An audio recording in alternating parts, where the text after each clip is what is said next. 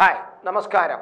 ഈ പാറശാലയിലെ ഷാരോൺ കൊലക്കേസിലെ പ്രതിയായ ഗ്രീഷ്മ ഈ കൊലപാതകമെല്ലാം നടത്തിയിട്ട് വടക്കേന്ത്യയിൽ പോയി ഇവിടെ എല്ലാം വിറ്റ് എടുത്ത് ആ കാശെല്ലാം കൊണ്ട് വടക്കേന്ത്യയിൽ പോയി ആരും അറിയാതെ പ്രത്യേകിച്ച് സ്ഥലമാക്കി ജീവിക്കാം എന്ന പദ്ധതി പ്ലാൻ ചെയ്തിരുന്നു എന്ന വിവരമാണ് ഇപ്പോൾ പുറത്തു വരുന്നത്. അതായത് ഗ്രീഷ്മയെ കുറിച്ച് ചിന്തിക്കുമ്പോൾ നമുക്ക് ആലോചിക്കാൻ പറ്റുന്നത് വളരെ വളരെ പ്ലാനിങ് ആയിട്ടുള്ള കണ്ണിങ് ആയിട്ടുള്ള ഒരു ക്രിമിനലിന്റെ വളരെ പ്ലാനിങ് ആയിട്ടുള്ള ഒരു പദ്ധതികളാണ് ഇപ്പോൾ പുറത്തു വരുന്നത്. ഈ ഗ്രീഷ്മ എല്ലാവരെയും സമാധാനപ്പെടുത്തിയിരുന്നു ഈ കേസ് അങ്ങനെ ആ, വലുതാരത്ത് വരാനില്ല ഈ സംഭവം നടന്നു കഴിഞ്ഞാൽ പോലും നമുക്ക് ഇവിടെ നിന്ന് ഇതെല്ലാം വിറ്റുപറക്കി നമുക്ക് ഇവിടെ നിന്ന് പോകാം. പോയിട്ട് ചെന്നൈയിൽ ഒരു മുപ്പത് സെന്റ് സ്ഥലമുണ്ട്. ചെന്നൈ പട്ടണത്തിൽ വളരെ പ്രധാനപ്പെട്ട സ്ഥലത്താണ് ആ വസ്തു.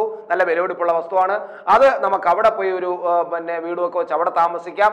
അപ്പോൾ കേസ് ഉണ്ടെങ്കിൽ പോലും വല്ലപ്പോഴും ഒരിക്കൽ തിരുവനന്തപുരത്ത് കേസിന് മാത്രം വന്നാൽ മതിയല്ലോ. ആ കേസ് നമുക്ക് എങ്ങനെ പരിഹരിക്കാം എന്നുള്ള ജാമ്യം കിട്ടിക്കഴിഞ്ഞാൽ നേരെ ഈ വസ്തുവെല്ലാം വിറ്റിട്ട് പിന്നെ ചെന്നൈ പോകുന്നു. ചെന്നൈയിലും ആൾക്കാരെല്ലാം തിരിച്ചറിയുകയും പ്രശ്നമാകുകയാണെങ്കിൽ നമുക്ക് വളരെ രഹസ്യമായിട്ട് വടക്കേ ഇന്ത്യയിൽ പോയി താമസിക്കാം.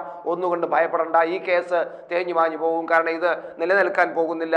ഇതിന്റെ കാര്യങ്ങളെല്ലാം ഞാൻ വളരെ സ്റ്റഡി ആയിട്ട് ചെയ്തിട്ട് പഠിച്ചിട്ടാണ് എങ്ങനെയാണ്. അതായത് ഈ ഗ്രീഷ്മ ഈ പിന്നെ ഈ ഇതുണ്ടല്ലോ ചോദ്യം ചെയ്യൽ. പോലീസിന്റെ ചോദ്യം ചെയ്യൽ എങ്ങനെയാണെന്ന് വരെ പഠിച്ചിട്ടാണ് പോയതെന്ന് പറഞ്ഞാൽ നമ്മൾ അന്തമിട്ട് പോകില്ല ഒരു കുട്ടിയുടെ ബുദ്ധി എത്രമാത്രം ഭീകരമായിരിക്കുന്നു എന്ന്. അതായത് ഈ നെറ്റിൽ ഈ ഇന്റർനാഷണൽ ലെവൽ ഇപ്പൊ വലിയ വലിയ പോലീസുകാർ ഈ കുറ്റവാളികളെ ഇരുത്തി ചോദ്യം ചെയ്യുന്ന വീഡിയോകളെല്ലാം ധാരാളം കിട്ടും നെറ്റിൽ അപ്പൊ അങ്ങനെ വന്നപ്പോ ഈ കുട്ടി ഈ ഗ്രീഷ്മ ഇങ്ങനെ ചോദ്യം ചെയ്യുന്ന വീഡിയോകൾ പലതും ഇട്ട് കണ്ടു എന്നാണ് പറയുന്നത്.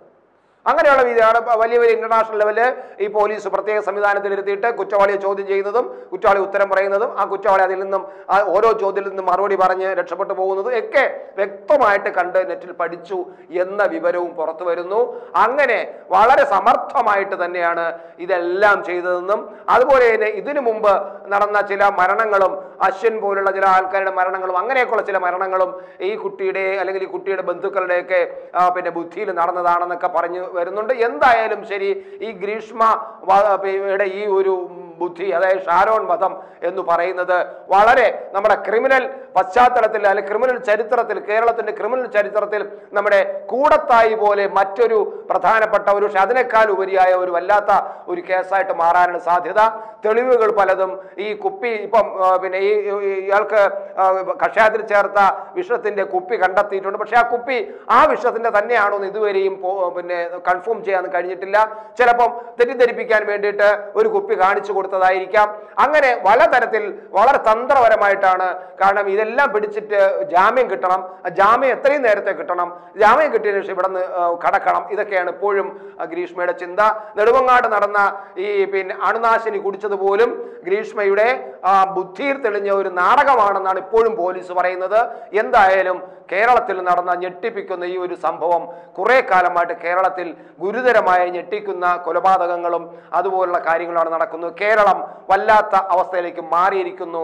എന്തുകൊണ്ടാണ് എന്നത് നമ്മൾ ഇവിടെ വ്യക്തമാക്കുന്നില്ല. കാരണം നമ്മൾ പരിശോധിക്കാനാണ് എവിടെയാണ് തകരാറ്? നിയമവാഴ്ചയുടെ പിന്നെ എന്തു പറയാം ശക്തിയില്ലായ്മയാണ് ദൗർബല്യമാണ് ഇത്തരം കാര്യങ്ങൾ നടക്കുന്നതെന്ന് പറയാതിരിക്കാൻ നിവർത്തിയില്ല.